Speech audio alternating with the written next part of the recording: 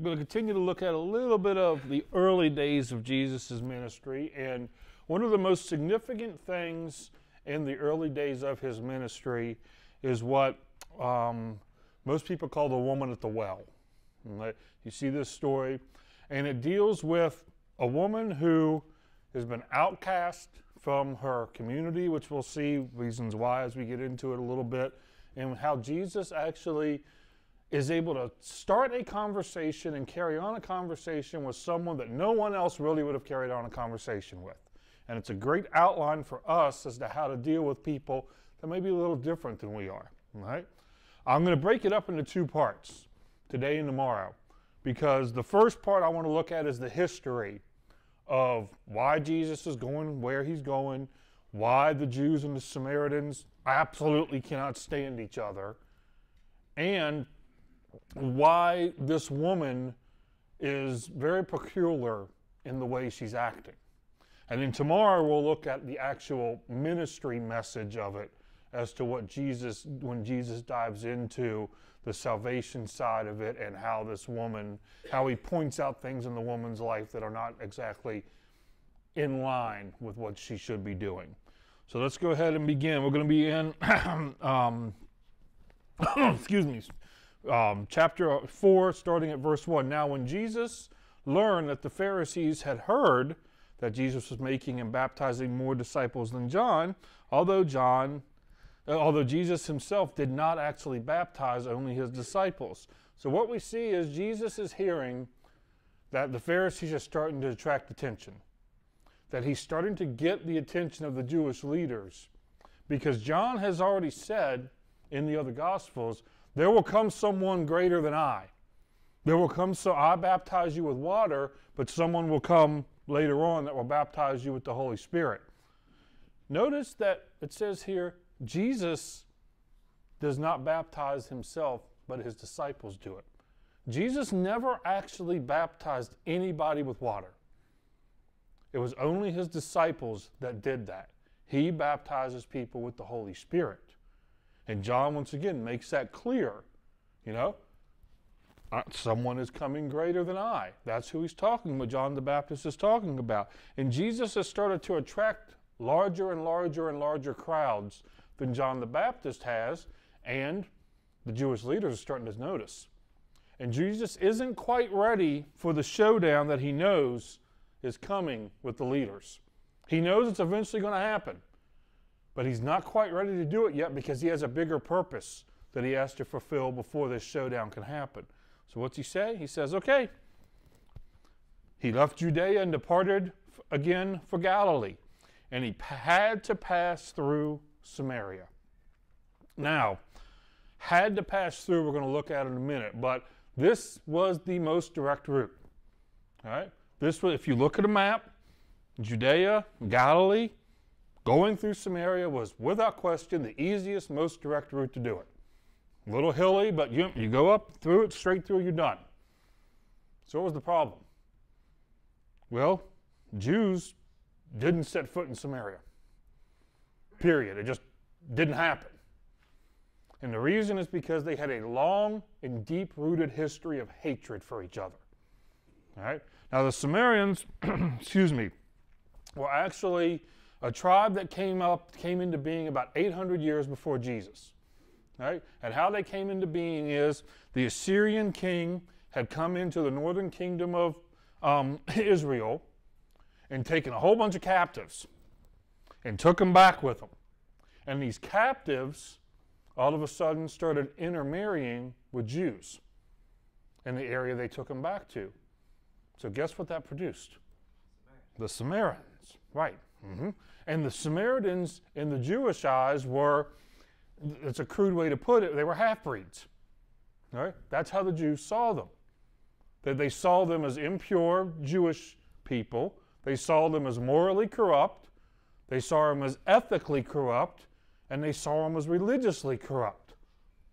And any Jew that dealt with a Samaritan was instantly considered unclean. So you never would see a Jew walk through Samaria.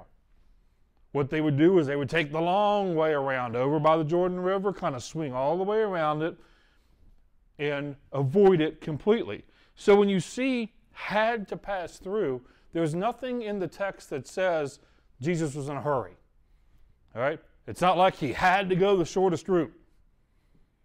So why did he why does it say he had to pass through? Some texts say he must pass through.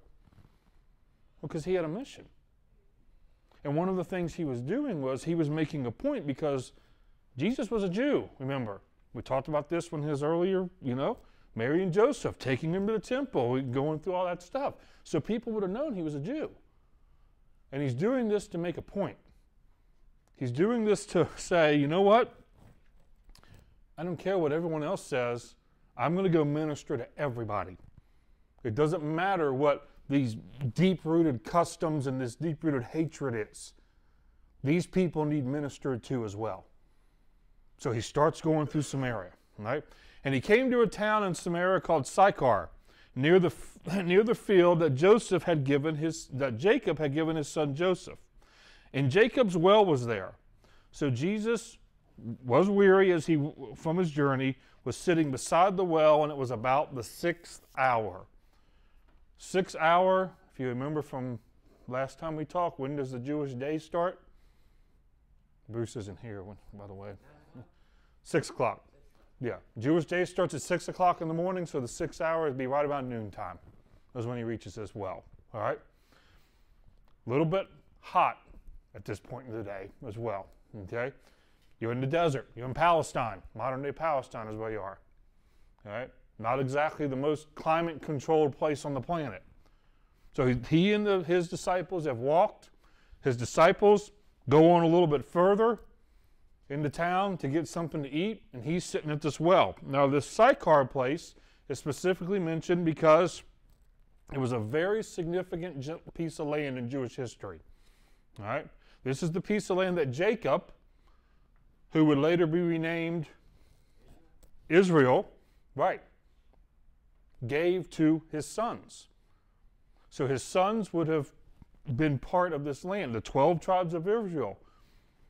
Jacob's sons, 12 of them, would have been part of this land and would have been inherited this land. This is also the land where, when the um, Jews were exodus out of Egypt, they took Joseph's bones and reburied them here. This is a very significant piece of land in Jewish history that he goes to. And more importantly, this well that he's sitting at is a very significant well because it's known as Jacob's well or Israel's well. Right? And that's why it's so significant because this would have been the well that Jacob would have given to his sons, that Jacob would have used himself, that Jacob built himself. So this is a very significant thing that he does when he goes and sits here. Charlie. Yes, we'll get to that tomorrow, but yes. Mm-hmm. So this was, like I said, this is a highly valued piece of land for the Samaritans. All right? Because just like the Jewish people, the Samaritans considered Jacob or Israel, as he was renamed, one of their fathers. Right? Abraham, Jacob, you see that all the time. Isaac, those three are they who, who they consider the father of their religion. And so Samaritans did the same thing, only in a little bit different way, which we'll see tomorrow. A woman from Samaria came to draw water. And Jesus said to her, Give me a drink, for his disciples had gone away to buy food. There's three things here that instantly jump out in this passage about the woman. Number one, she came alone. Right? Most of the time, when you would see women, because women are the ones who would come to the well to draw water out of, we see this when um, Isaac's servant goes to find him a wife and he meets Rebe- or Rachel at the well. She's there by herself or with a group of people drawing it out. So they would go to the well not just for the help of working the well, but also this was a social thing. You know, think about you know hanging around the water cooler. This is what the women would do because the women were the ones who would go get the water out of the well. And when you get the water out of the well, it isn't like we do today. It isn't this real easy, you know, all these contraptions and other. It was literally a bucket. He would lower down, water would fill up the bucket, you pull it out, pour it into a jar. The jar was about five, held about five gallons and weighed about 40 pounds. And women did this, right? And they would come and they would usually work it together, help each other out, then take it back to wherever their houses or whatever their, their thing was. So she was alone. She came here alone. So that's one. Number two, so I lost my place. Yeah, where'd it go? There we go. She was out in a part of the day that no one came out to draw water run. Because you would either, either do it in the morning or the evening. And they did it twice a day, so they would do it at the morning and the evening. Why? Because it's cooler, right? lugging 40 pounds back to your village. You don't normally do that in the rising heat of the day, right? So she comes out, she's by herself. she does it at a different time of day than most pe- people would do it. And the third thing is, is she did it at a well that's farther away from her house. See, because the archaeological digs have discovered that the town is act. There's a bunch of wells that are actually closer to the town than this one. So, what's she doing? She's purposely avoiding contact with anybody. She's basically has a great big do not disturb, do not bother me sign on her as she comes to the well. And what's Christ do? Starts a conversation with her. Hey, can you give me some water? Now, now we're flipping it back around because this would have been something that was unheard of in Christ's day for several reasons. Number one, men normally didn't talk to women like this. This wasn't how it was done. It was very rare that you would see a man talk to a woman in public back in this time. Wouldn't your guys' lives be a lot easier if that was still around today? Huh? Yeah, but it, it was very rare, right?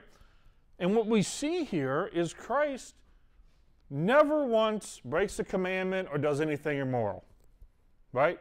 Never once in the Bible, never once in his life does he do that. But what he does is he will always challenge these nonsensical rituals that society had put in place. He, all, he basically flaunts them. He basically takes enjoyment out of calling people out on the stupidity they've put in their, lo- their lives. And that's what he's doing here. By talking to this woman, he's saying, I don't care about any other stuff. He's starting a conversation with her without any of those barriers in place. And the Samaritan woman said to him, How is it that you, a Jew, ask me, ask, for, ask for a drink from me, a woman of Samaria? For Jews have no dealings with Samaritans. Once again, remember, Jesus is Jewish. And the woman would have known that a Jew would never drink from the same cup as a Samaritan. She would have known the hatred and the rituals and, and everything that would have gone from here. And not only that, she would also have known that Jews considered Samaritans permanently and completely unclean. So look at what she says. How is it that you are asking me for this? How, did, how, so she's almost saying, How dare you come and talk to me like this? Right? What are you doing asking me for a drink? Is really what she's saying. She's saying, You're a Jew. You despise me as a non Jew, right? You despise me as a woman. Because I'll admit it, back in these times, women weren't exactly treated too great. All right? And you despise me as a Samaritan. She's saying, with that simple question, with you just asking me for a drink, you can't just undo all the years of hatred and barriers that were put up just like that. Well, tomorrow we're going to find out what Jesus' answer to that question is.